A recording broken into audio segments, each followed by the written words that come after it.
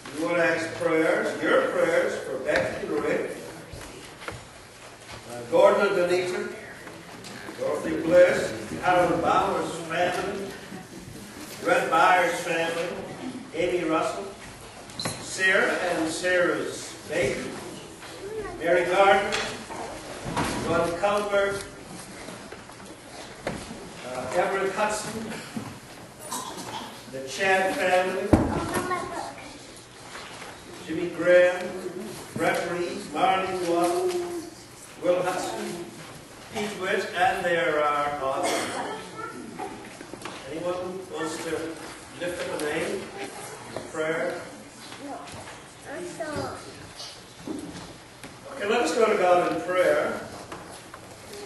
Our Father, we come to you on this special Easter Sunday morning, recognizing you as the Lord of life, recognizing you as the risen Lord. You are the author and finisher of our faith. And we are grateful because we know that your desire is to make life abundant for all people everywhere. We are grateful that even the discouraged, the disappointed, and seemingly defeated disciples were transformed by the resurrection, and the risen Jesus Christ. So we today can participate in his triumph and find radiant hope as we walk with him in faith. Oh God, on that bitter day in the garden, where sin entered into the world, you began writing the story of redemption. You so desire to be in revelation and relationship with us that you set a plan in motion that would require the death of your only begotten Son, Jesus Christ. Well, that was last Friday. Today, it's Sunday. It's Resurrection Day, and we, we are triumphing the victory of Jesus Christ over sin and death. New life, resurrection, as you raise Jesus Christ from the dead. We thank you, God, and we look forward to the day we see him face to face. And all will be restored as in the garden. Paradise lost will become paradise restored. Our hearts are full of hope and anticipation. Father, we just give you thanks and praise for this sanctuary. We thank you, Lord, that you have blessed us and be able to restore this sanctuary to where it is today, this beautiful place of worship. We thank you for all these people you have brought here today. We ask a special blessing on each and every one and their families and their communities and their friends and those among whom they work and dwell and move and have their beings. Father, you ask that you would bless each and every person in our communities. We ask that you bless those who work for the betterment of our communities, the police and sheriff and teachers and doctors and caregivers. Be with each and every one of us, Lord. Bless those who govern us. Help them to know that Jesus Christ is the one and the only risen, true Savior and Governor of all. Us in your perfect will. This we ask in Jesus' name, who taught us how to say, Our Father, who art in heaven, hallowed be thy name.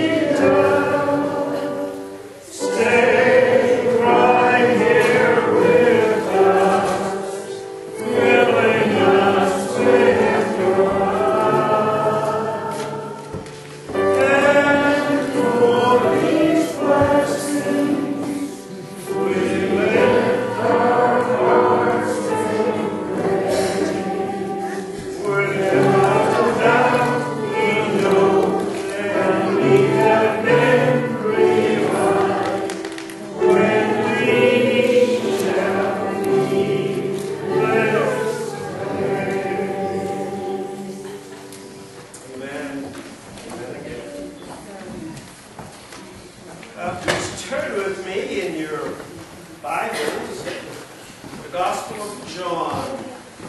And if you're using the Pew Bible, it'll be found on page uh, 110.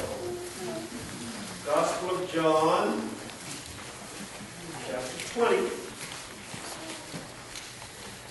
And it's just one of the resurrection stories. Each evangelist, Matthew, Mark, Luke, and John, has told the story of the resurrection. So you must know it's very, very important to us as Christians to have the story of the resurrection. When the Bible says something once, I pay attention twice, three, four times. Um, and then in the, the book of Acts, uh, there are many mentions of a resurrection. Listen to me. Listen to the Word of God as it comes to you from the book of John, chapter 20. Now, on the first day of the week, Mary Magdalene came to the tomb early, while it was still dark, and saw that the stone had been taken away from the tomb. So she ran and went to Simon Peter and the other disciple, the one whom Jesus loved, and said to them, have taken the Lord out of the tomb, and we do not know where they have laid him. Peter then came out with the other disciple, and they went towards the tomb. They both ran, but the other disciple outran Peter, and reached the tomb first. And stooping to look in, he saw the linen cloths lying there, but he did not go in. Then Simon Peter came following him and went into the tomb. He saw the linen cloths lying and the napkin which had been on his head, not lying with the linen cloths, but rolled up in a place by itself. Then the other disciple, that's John, who reached the tomb first, also went in. And he saw and he believed. For as yet they did not know the scripture that Jesus Christ was raised from the dead. Then the disciples went back to their homes. But Mary stood weeping outside the tomb. And as she wept, she stooped to look into the tomb, and she saw two angels in white, sitting where the body of Jesus had lain, one at the head and one at the feet. They said to her, Woman, why are you weeping? She said, Well, because they have taken away my Lord, and I do not know where they have laid him. Saying this, she turned around and saw Jesus standing. But she did not know that it was Jesus. Jesus came to her. Woman, why are you weeping? Whom do you seek? Supposing him to be the gardener, she said to him, Sir, if you have carried him away, tell me where you have laid him, and I will take him away. Jesus said to her, Mary. She turned and said to him in Hebrew, Rabboni, which means teacher. Jesus said to her, Do not hold me, for I have not yet ascended to the Father. But go to my brethren and say to them, I am ascending to my Father, and to your Father, and to my God, and to your God. Mary Magdalene went and said to the disciples, I have seen the Lord. And she told them that he had said these things to her. This is the Word of God. Thanks be to God. Now may the words of my lips and the meditations of our hearts be acceptable in thy sight, O Lord, our strength and our Redeemer. Thank you very much once again to the youth. Uh, today I want to direct your attention to having more hope than we could handle. More hope than we can handle. Today is Easter Sunday. And in the old days, the uh, Christians, the early Christians, greeted each other. And when they saw each other, say, passing on the road, the first one would say, The Lord is risen. And what would the other say? The Lord is risen indeed. Now, how often do we open our eyes to see the risen Lord in our lives? Mary and the disciples only saw signs. They were told about this. But it was hard to believe it in those days that someone would be crucified, brutally beaten, crucified, dead and buried, and would come back to life again. They were expecting early that first Easter Sunday morning to go to this tomb and, and see this body of Jesus Christ lying there, a dead body. But what happened? The body was not there. They saw the linen cloths that he was in. It was as if his body exploded out of the linen cloths and came alive. A living Savior. Maybe this Easter may be the opportunity for us to really be like Mary and the disciples and experience this living Savior in our lives, in our midst, today and every day for the rest of our lives. The Eureka Springs, Arkansas is the home of the great passion play of the Ozarks. I don't know if anyone has ever seen that. Yes, someone has. The Great Passion Play of the Ozarks, Eureka Springs in Arkansas. They put on this play every so often, maybe every year. And one year this uh, actor was, was taking the cross and stumbling up the hill, God Golgotha, to go be crucified. And this spectator, who obviously an atheist of some sort, started jeering this guy. So he, he threw the cross down, rushed over and punched the spectator. Bang!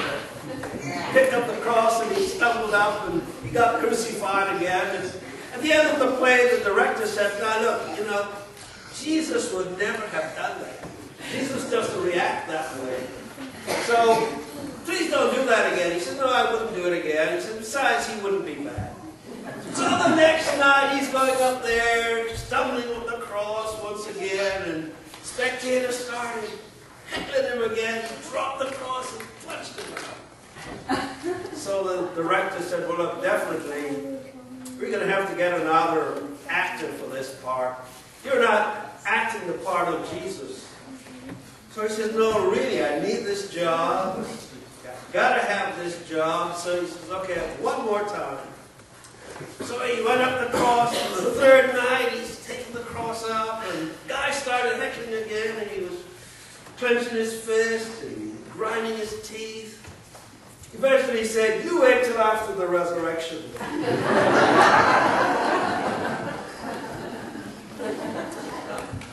well, on that first Sunday morning, the uh, women went, and there were going to carry out a human burial tradition, putting spices on the body. However, they found themselves witnessing a divine tradition of God bringing life out of darkness, God bringing life out of death. Some of you may have been here a few weeks ago when we spoke about the valley of dry bones.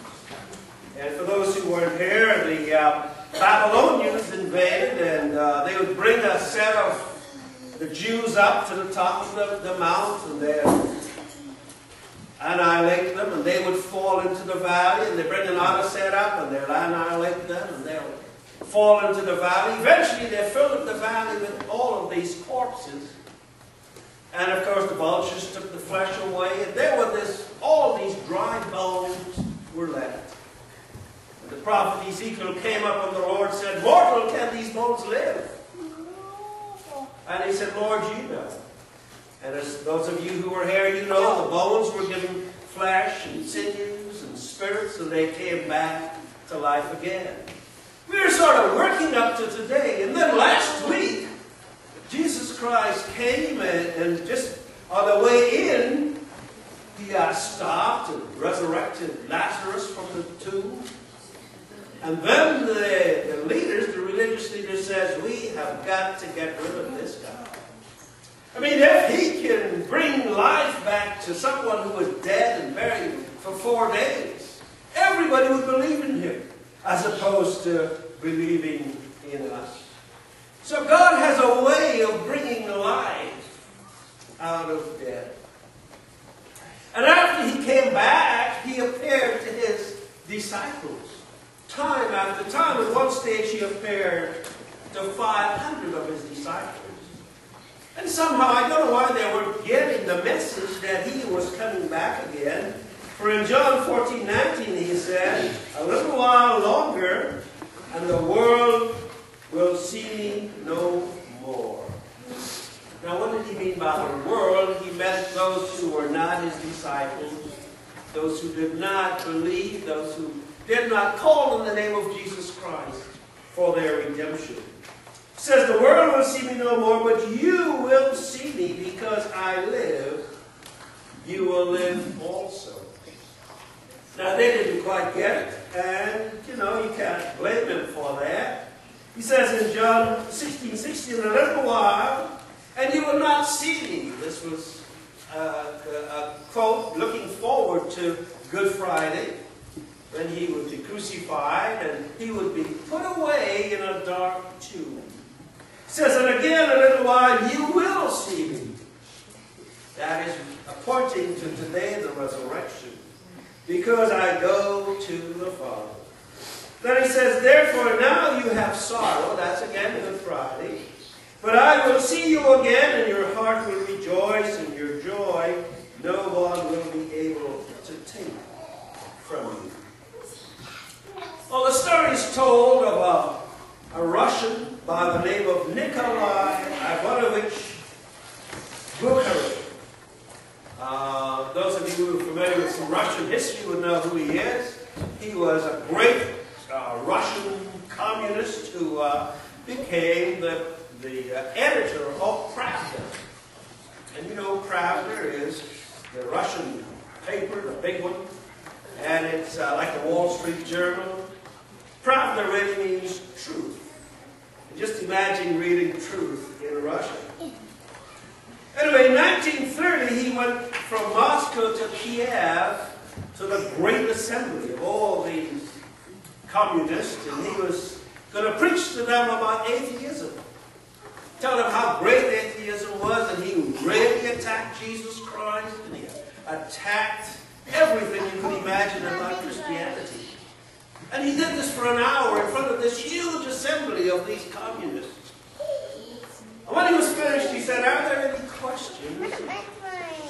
There was dead silence. Eventually, a man got up and he went to the podium and he said, The Lord is risen. And the whole assembly rose up and said, The Lord is risen indeed. Now, that was the greeting, that is the greeting that Russian Orthodox Christians give each other even to this day. In the good old days, when the church was first formed and began, that's the way Christians greeted each other. The Lord is risen. The Lord is risen indeed. Today, church, we can greet each other with these same sayings. The Lord is risen. The Lord is risen indeed. My friends, Christ is alive. He has risen indeed. He has risen from the dead. Hallelujah. I know, I know that my Redeemer lives. And for those of you who are familiar with uh, George Frederick Handel, Handel, you know he wrote, put that to music. I know, I know that my Redeemer liveth. Now, George Frederick Handel lived at 25 Brook Street, Mayfair, London. The place is still there. And right next door to the left of it is number 23 Brook Street, Mayfair, London. And the person who lived there, Jimi Hendrix. Two young musicians who died or called home to their eternal destiny at young ages. Well, someone once shouted to Dr. Billy Graham, God is dead, God is dead. And Dr. Billy Graham, of course, being gracious, he always is, he's always gracious, turned to the person and said, Wow, what a surprise. I just spoke to him a few minutes ago. well, my friends, God is alive. Jesus Christ is risen. He is risen indeed. My friends, every time I, I, stumble and I fall, I know He's there to pick me up. You ask me how I know He lives. I know He lives because He lives within my heart. And some of us may be going through a very rough period of time. This, these times are not easy. We're going through an economic downturn, and it may have been affecting some of us. Think of think, imagine someone being told, I'm sorry, uh, we can't afford you anymore. You have to go. And you wonder, well, how am I going to make it? But you know as a Christian that you have a risen Savior who is there to help you through. Someone may have just been told by a doctor the bad news. And you wonder, well, I wonder what's going to happen. But you know, whatever happens, you don't know what the future holds, but you know someone who holds the future. My friends, every time I've stumbled, uh, the book of Proverbs tells me that the righteous person stumbles, and every time he stumbles, someone is there to pick him up. I assure you that someone is none other than Jesus Christ, our Lord and our Savior. Now, for those who do not believe, I want to turn to the book of Acts, and I want to read chapter 10. I want to read a few verses for you. I want to read from verse 38, Acts 10 38. How God anointed and consecrated Jesus of Nazareth with the Holy Spirit and with strength and ability and power.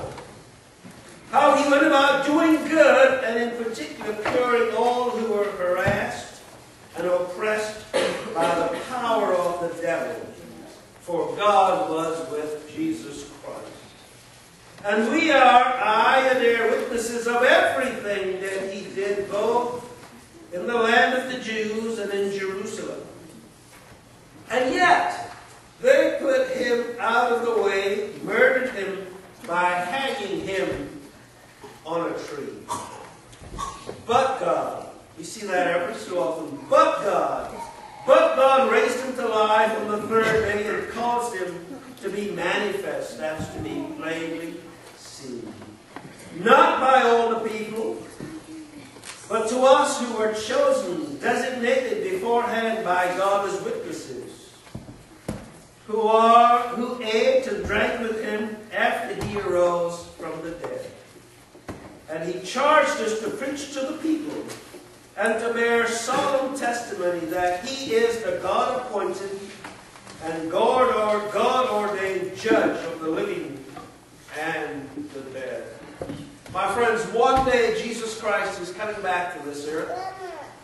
And he's coming back, as Acts just told us, God, ordained judge of the living and the dead. I trust that each and every one of us here has received Jesus Christ by faith. And when we're judged, he will say to us, Well done, thou good and faithful servant. However, for those who reject him, he will say, Depart from me, I never knew you. My friends, it's not worth the gamble not to receive Jesus Christ by faith. He's coming back, and he's coming back again as the judge of all people. Now, I'd like to read Acts 17, uh, which really says about the same thing. God is coming back as the judge. My friends, believe and receive that Jesus Christ, who is God, came to earth as a human being. He suffered and he died. He was buried and God raised him from the dead. The angel said to the women, Fear not. You're looking for the dead. Jesus Christ is not here. He is risen. And because he's risen, that has given us more hope than we can ever hope for. He's given us more hope than we can ever handle. So that when any one of our loved ones dies and is put in a coffin or casket is put in the grave, we know that our loved one is not there. He or she is with the Lord. And when our time comes, we have the hope of the resurrection, knowing that we too will be with Jesus. My friends, we have more hope than we can possibly handle. May God bless the reading, the hearing, and the doing of God's eternal word. Uh, please stand with me and repeat hymn 881. 881, which is the Apostles' Creed.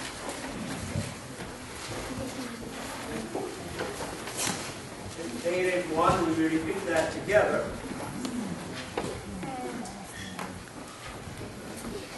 Together, I believe in God the Father Almighty,